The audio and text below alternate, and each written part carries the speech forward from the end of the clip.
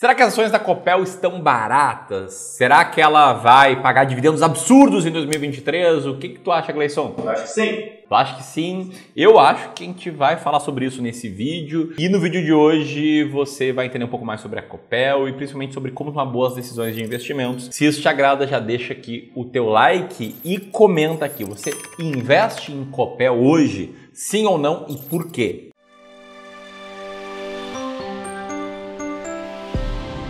Bom, o primeiro ponto, né? Como saber se vale a pena investir em Copel? Eu não sei o que você comentou, se investe, se não investe. Eu vou te contar aqui o que, que eu faço e por quê. Mas eu sei muito bem, né, que na jornada de um investidor, em especial de um investidor empreendedor, que é o investidor que vai atrás de informações, o investidor que está aqui assistindo esse vídeo, ele em um determinado momento tem que tomar decisões de seleção de ações. Só que eu sei que, embora seja um passo importante no processo de enriquecimento, que nada mais é do que você ganhar dinheiro, poupar dinheiro, colocar esse dinheiro para investir, e aqui você tem que saber como investir. Eu já estou no mercado há tempo suficiente para saber que essa decisão de como investir, o que comprar, quando comprar, quando vender, é uma decisão que não é nada trivial de ser feita. Em especial porque cada pessoa fala uma coisa, né? Tem gente que fala que Copel é uma excelente empresa para ter em carteira porque ela paga bons dividendos. Tem gente que fala que é uma empresa boa de ter em carteira porque ela está num setor perene, né? um setor que vai precisar Uh, contar com ele por muitos e muitos anos. E também tem gente que investe em Copel apenas pelo fato de que grandes investidores, investidores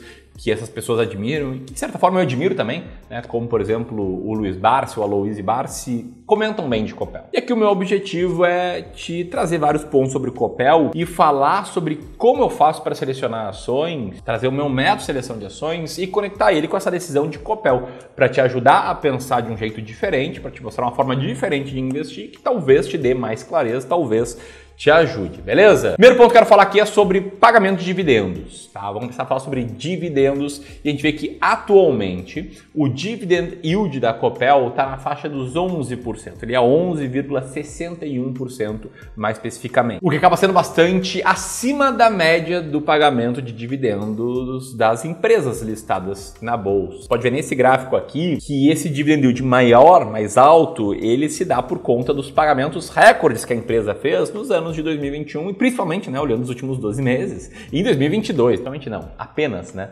olhando 2022. E assim, tá, tem alguns fatores não recorrentes por trás desses dois anos de dividendos mais altos, mas ainda assim, se a gente olhar um gráfico um pouquinho mais longo, a gente pode ver que Copel nos últimos 10 anos sempre pagou dividendo muitas vezes acima de 5% de yield né, no último ano e mais recentemente, eu falei, né, por conta das distribuições de 2021 e 2022, com um dividend yield maior. O que faz com que a Copel seja uma figurinha carimbada na carteira de boas pagadoras de dividendos de ninguém mais, ninguém menos do que a B3. Sim, isso mesmo, né? A B3, a nossa bolsa de valores, ela tem vários índices que ela tem metodologias para selecionar ações para a carteira desses índices. Né? Um índice conhecido é o Ibovespa, o índice das ações de maior valor de mercado e maior liquidez do Brasil. Outro índice não tão conhecido, depois comenta se você conhece ele ou não, é o IDIV, que é o índice de boas pagadoras de dividendos, em que basicamente entram empresas que têm consistência no pagamento de dividendos, boa liquidez e pagamentos mais altos do que a média em via de regra. E a Copel está lá, com uma participação de 3,63% no IDIV. Aliás, um parênteses aqui, tá? Eu sou o cara das ações baratas, o cara dos dividendos é o Felipe aqui do Clube do Valor. Mas se você quiser pegar um hackzinho de como saber quais empresas pagam dividendos com consistência, Faz o seguinte: abre o Google, digita IDIV B3, Enter, e no Google você clica no primeiro link, Índice de Dividendos da B3. Vai chegar na carteira de boas pagadoras de dividendos e pode ver as ações que têm um peso maior e analisar elas para ti se faz sentido ou não, né? Estudar melhor sobre elas. Enfim, fecha parênteses porque o assunto do dia é Copel. Não dá para falar de Copel sem falar de privatizações. Afinal de contas, tempos atrás, o Estado do Paraná deixou claro que quer deixar o controle da Copel via oferta de ações. Em outras palavras, a Copel vai ser privatizada. De lá para cá, as ações da Copel elas chegaram a dar uma bombada. Elas chegaram a subir 22%, mas depois disso elas caíram e agora estão mais ou menos 6 3% acima do valor anterior a essas notícias aí da privatização. Recentemente, inclusive, os trâmites de privatização avançaram com um decreto aí que permite que o plano da Copel de privatização seja tocado. Né? E eu sei que esse assunto da privatização é, atua como se fosse um gatilho para vários investidores que querem saber né, se agora vale a pena comprar, se não vale, enfim. Eu vejo comentários de vocês, eu vejo comentários, por exemplo, de gente como o Leonardo, que pediu para eu comentar a respeito de Copel, faz tempo que eu não faço vídeo sobre Copel, e queria ouvir sobre todo esse alvoroço aí por conta da privatização. E tem investidores que acabam não sendo assim tão... Uh, Cautelosos como o Leonardo, quer se informar, quer entender diferentes opiniões, como o GCA, que falou que, olha, se for privatizada ela vai bombar, foda eu vou é comprar Copel. E eu queria pegar esse comentário do GCA para falar de outro assunto essencial aqui, que é o risco de se investir assim.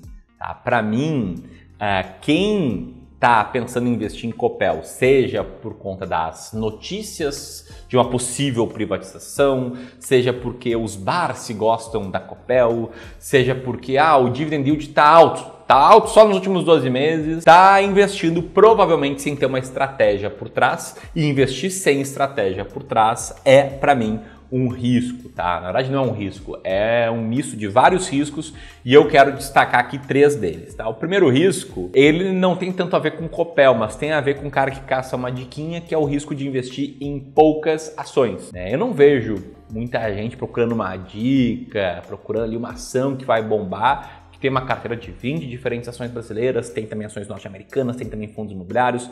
O que eu vejo, na verdade, é muita gente frustrada, né? Com ações que caíram muito, ah, isso aí eu tô perdendo muito dinheiro e tal. E quando eu vejo esse tipo de comentário, eu penso, poxa, cara, investir em pouquíssimas ações, talvez em uma só. Errado, nunca vai dar certo, tá? Você pode aí ter sorte num ano, essa ação pode subir bastante, mas nunca vai dar certo. Segundo risco é achar que o dividend yield dos últimos 12 meses é o dividend yield recorrente. Então, por exemplo, o lucro lucro líquido da Copel, aí naquele pagamento forte de 2021, estava inflado pela venda da Copel Telecom.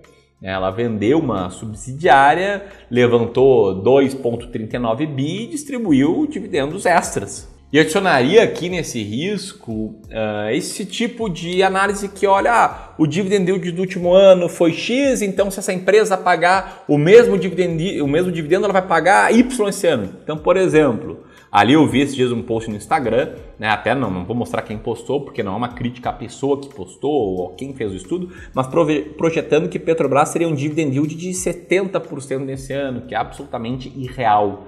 Né? Teve dividend yield muito alto ano passado, sim, mas não vai se repetir nesse ano, até porque a empresa distribuiu reservas de lucro. Então toma cuidado com isso. E antes aqui de falar se o Copel tá barato ou não, queria falar sobre o terceiro risco, que é investir sem clareza, que é investir sem ter uma estratégia clara. Aquele risco em que você vai lá, vê um vídeo de alguém, esse cara fala, olha, eu tenho um Copel, você vai lá e compra Copel, copia a carteira de alguém e não entende os motivos por trás. Ou seja, você tem ação, mas não tem convicção, não tem estratégia. E para mim, o investidor precisa ter uma estratégia. Tá? Para mim, investir com estratégia é investir com método, investir com um guia que te mostre sempre quais ações comprar, quando comprar e quando vender. Você pode pensar, ah, Ramiro, lá vem você falar das ações mais baratas da bolsa. Sim, essa é a minha estratégia, mas o que eu defendo é que você tenha uma, não precisa ser a minha, mas tenha clareza sobre o que você vai fazer. E eu vou te mostrar agora, daqui a pouquinho, se Copel, no meu método, na minha estratégia, está barato ou não. E se você quiser sim conhecer a minha estratégia, seleção de ações baratas, muito descontadas, uma estratégia que teve um retorno muito bom histórico, aí sim você tem uma chance muito grande porque apenas nos dias 24 e 25 de janeiro vai rolar um evento chamado As Ações Mais Baratas da Bolsa em 2023. Vão ser duas aulas para quem tiver inscrito, aulas gratuitas para quem tiver inscrito, que eu vou mostrar o passo a passo da minha estratégia, vou te mostrar como chegar na lista das 20 ações mais baratas da bolsa. Pode pensar, Ramiro, para que fazer um evento gratuito revelando o seu método, entregando o ouro do que você faz? E eu te digo com toda certeza que eu vou fazer isso porque porque eu quero que vocês conheçam esse método e eu quero que vocês invistam comigo, sejam clientes do Clube do Valor ou, pelo menos, comprem nosso treinamento completo Descomplicando o Mercado de Ações, que vai abrir vagas no dia 25. E aí quem comprar o DMA vai ter acesso a conteúdo ainda mais aprofundado e acesso vitalício à lista mensal das ações mais baratas da bolsa. Enfim, se você quiser ter acesso a tudo isso, o link está na descrição e nos comentários. Eu te vejo lá no dia 24 de janeiro. Tamo junto? Mas a Copel, tá barata ou não? Enfim, existem dezenas de formas de ver se uma empresa está barata ou não, para citar algumas, né? Fazer valuation por fluxo de caixa descontado, por modelo de dividendos eh, de Gordon, ou métodos até mais qualitativos, né? Que é ah, analisar o histórico do presidente, analisar os diretores, etc. Ah, eu não sigo nenhum desses que eu citei, eu sigo minhas ações mais baratas da bolsa, que basicamente é um método de olhar um múltiplo específico, que a gente chama de earning yield, que é o lucro operacional de uma empresa dividido pelo total enterprise value desta empresa. É um método que no limite me faz chegar numa comparação relativa entre todas as ações da bolsa, ou seja, é um método que considera que sempre vão ter as 20 mais baratas da bolsa. E aí nessa lista de ações baratas, a ideia é ter 20 ações muito baratas. E aí esse método me diz se está valendo a pena ou não comprar a Copel hoje, ou se eu tenho manter ou vender ela. E aí, se a gente for olhar na lista das ações mais baratas da bolsa para o mês de janeiro, a Copel está na posição número 94. Então, para mim, no meu método, nas minhas convicções, na minha estratégia, hoje não vale a pena investir em Copel. Agora, se você quiser ter acesso a uma lista de 10 ações baratas hoje em janeiro e a uma explicação um pouco mais aprofundada da estratégia, que até é bom de você ter antes de chegar no evento do dia 24, dia 25, vou deixar aqui um link para isso. Se quiser conhecer ações que a gente está comprando, diferentemente de Copel que a gente não está, aqui vai estar tá um vídeo também no YouTube sobre isso. Se você gostou do vídeo, te inscreve no canal clica no sininho e se embora. Um grande abraço.